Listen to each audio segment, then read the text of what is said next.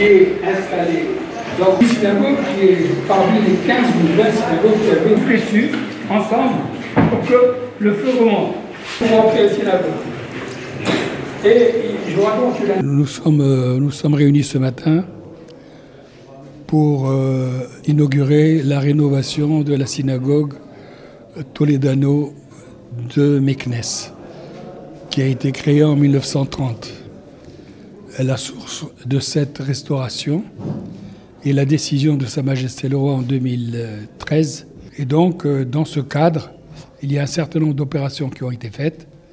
La première a été euh, Slat et Tedgi à Casablanca, dans lequel on a créé le musée juif du Mella de Casablanca, qui a été inauguré par Sa Majesté le Roi.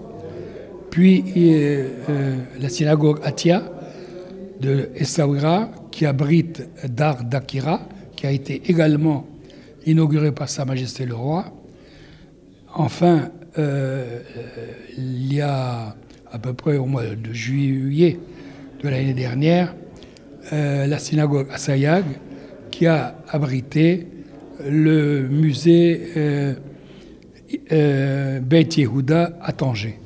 Enfin, aujourd'hui, c'est le tour de Meknes avec la synagogue Meir Toledano, communément appelée Slatr Bibaror, très connue des Juifs de Meknes, qui va euh, abriter le musée juif de Meknes. Voilà à peu près dans quel, euh, euh, dans quel cadre cette opération a été faite.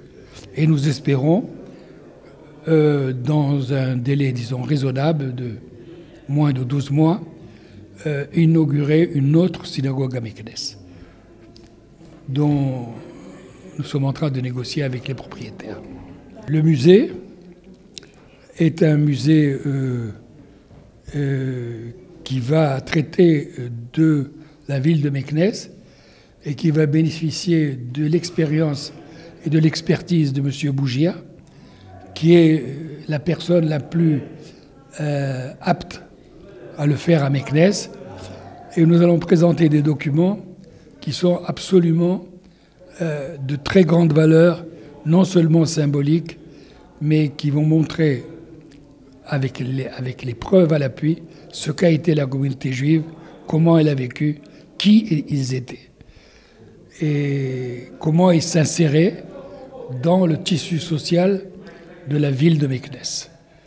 Donc, euh, nous vous donnons rendez-vous dans, je pense, dans les six mois qui viennent, pour que vous puissiez voir le musée en état de fonctionnement. Parce qu'aujourd'hui, en fait, ce n'est qu'un aperçu des beautés que nous allons vous présenter.